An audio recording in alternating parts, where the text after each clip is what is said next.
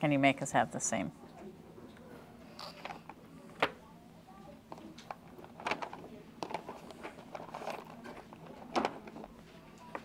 How do you know that we have the same? Because I always check before.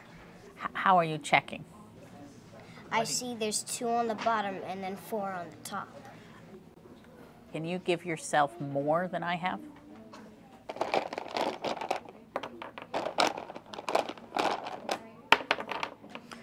How do you know you have more? Because it fills up more of the paper. Now, can you make you so that yours has less than mine? How do you know that's less?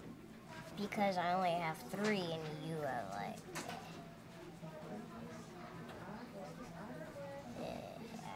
You can touch mine if you want. Okay, I have three and you have seven. So, how many more do I have? Four. So, how many less do you have?